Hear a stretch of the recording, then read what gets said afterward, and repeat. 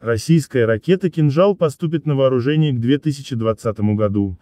При этом она успешно проходит испытания, передает CNBC со ссылкой на источники, знакомые с докладами американской разведки. По данным телеканала, новейшие ракеты уже прошли 12 испытаний на истребителях МиГ-31 и теперь ведется работа по адаптации ракеты под бомбардировщики. Ранее источник в оборонно-промышленном комплексе рассказал РИА Новости, что гиперзвуковыми ракетами «Кинжал» вооружат дальний бомбардировщик Ту-22-3. CNBC сообщает о трех успешных испытаниях «Кинжала», последние из которых состоялись в июле, когда ракета поразила цель на расстоянии чуть более 800 километров.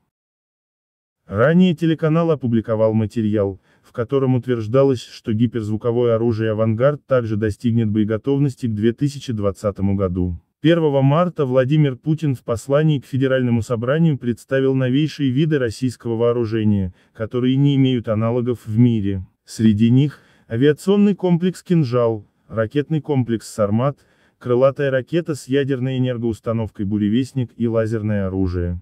Также президент сообщил о разработке гиперзвукового оружия, системы «Авангард», способной лететь в плотных слоях атмосферы на межконтинентальную дальность со скоростью, превышающей число Маха более чем в 20 раз.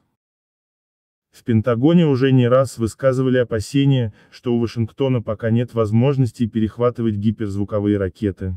В частности, на это во время слушаний Сенатского комитета по вооруженным силам указывал глава стратегического командования Минобороны США генерал Джон Хайтин. Помимо этого, в СМИ появилась информация о проблемах американских систем ПРОТАК, по сведениям газеты The New York Times, в 2017 году в Саудовской Аравии ЗРК Патриот не смог перехватить даже тактическую баллистическую ракету Р-11 «Скат», разработанную еще в середине Х века.